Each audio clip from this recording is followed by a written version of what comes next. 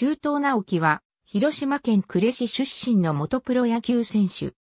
2008年6月23日から2009年シーズンまでは、中東時か、アキラの登録名を用いていた。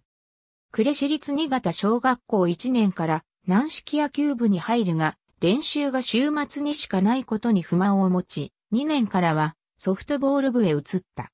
幼少期からカープのファンで広島市民球場に通っていた。小早川武彦が江川卓から打ったサヨナラホームランは強烈な印象があるという。新潟中学校から再び軟式野球部に所属し外野を務めた。進学した広島高校では右肩を痛め、満足なプレーができず、卒業したら野球をやめるつもりだった。しかし、知人の紹介で3年生の夏に東和大学の練習に参加し、再び野球の面白さに気づいた。東和大学に進学し、大学4年時には一番、保守として大学選手権でベスト8、神宮大会は優勝。第32回日米大学野球日本代表にも選ばれ、打率421を記録した。プロを念頭に JR 西日本に進み、1年目からレギュラー保守の座を掴んだが、2005年 JR 福知山線脱線事故により野球部は休部を余儀なくされ、ホンダ鈴鹿に移籍。ホンダ鈴鹿では主に1番センターで起用され、俊足に加え長打力のある切り込み隊長として、チームの都市対抗野球大会出場に貢献した。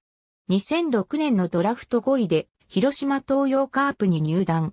2007年は外野手登録ではあるが、オープン戦では保守としても出場した。オープン戦で牽制で一塁に帰塁する際に、右手の指を捻挫し、開幕一軍を逃すが、4月14日の中日ドラゴンズ戦に代打で初出場。翌4月15日の試合で8回から保守として守備につく。4月17日対読売ジャイアンツ戦でプロ初スタメン。プロ初安打はならなかったが、プロ初打点を記録した。9回裏西二塁の場面で、李翔陽のセンターフライを落球した。7月19日に行われたフレッシュオールスターでは初回戦投打者としてヒットで出塁。その後立て続けに2投、3投と決め、3投時に保守の悪送球でホームインし MVP を獲得した。しかしその後の打席でファウルを打った際に骨折した。2軍では打率394で17試合で9盗塁を決めた。2008年は開幕1軍入りを果たすもすぐに2軍降格。4月末に2軍の試合で右手の甲を痛めて戦線離脱。故障続きのため、新規一転、6月23日に登録名を中東直樹から中東時か明に改名した。秋から層の厚い外野に対して手薄な保守を主体に行くこととなり、本格的に保守の練習を行った。2009年も前年同様開幕一軍だったが、一試合の出場で降格。最小格はなかった。2010年は再び外野手登録となり、登録名も本名の中東直樹に戻した。2011年は背番号を00に変更。シーズン中盤以降守備、ダイソー要員として一軍に定着し、自己最多となる64試合に出場した。8月14日の巨人戦では、4年ぶりに一軍の試合で保守を務めた。ダイソーとして出場した8月30日のヤクルト戦では勝ち越し点となる高走塁を見せた。2012年は開幕一軍となり53試合に出場した。2013年はシーズン初スタメン出場となる5月8日の横浜 DNA ベイスターズ戦で走塁で勝利に貢献し、自身初となるヒーローインタビューを受けた。その後5月12日の中日ドラゴンズ戦では途中、出場して勝ち越し打を放ち、さらに5月14日の福岡ソフトバンクホークス戦では、プロ初本塁打を打ったことで、1週間の間に3回のヒーローインタビューを受けることになった。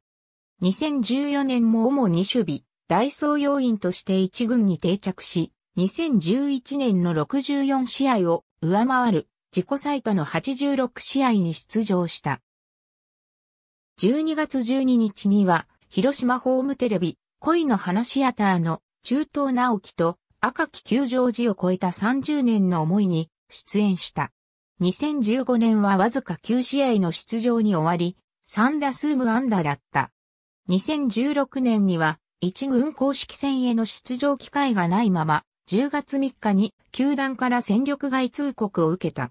12月2日、自由契約公示された。NPB 他球団での現役続行を希望したため、2016年11月12日には、甲子園球場で開催の12球団合同トライアウトに参加。シートバッティング形式の対戦では、5人の投手を相手に5打数に安打という結果を残した。また、他の対戦中には、本職の保守としてマスクをかぶった。獲得の意思を示す球団がなかったことから、現役を引退した。2017年2月からは、広島 OB で先輩の山本浩二の紹介で、広島県内の一般企業に勤務することを本人がツイッター上で公表した。2017年には勤務先でもある株式会社大和光産のテレビコマーシャルに出演し、ウルトラマンや同シリーズの怪獣とも共演したほか、同社の公式ブログにも社員として寄稿することがある。俊足を活かした堅実な外野守備に加え、保守もこなす万能な選手。打撃では速い直球に強かった。現役時代は主に貴重なスーパーサブとして活躍した。明るく前向きな性格であり、雨天コールドになった試合では、上本宗氏と共に AKB48 の恋するフォーチュンクッキーの曲に合わせて踊り、ファンを楽しませていた。現役時代の一番の思い出として、2011年8月30日のヤクルト戦を挙げている。この試合では2から2の延長10回西から2塁ランナーのダイソーで出場し、相手投手の冒頭で2塁から一気に勝ち越しの本塁を奪った。このことについて武器である俊足を活かしてチームの勝利に初めて貢献できたことが印象強く残っているという。現役時代は毎年キャンプの期間に入ると中東の母親が手作りのいちご大福を差し入れ、チームメイトからは勝利を呼ぶと言われていた。2013年には約200個がキャンプ地へ届けられている。また、そのレシピが NHK の E テレで放送されている番組、グレーテルのかまどで取り上げられた。ありがとうございます。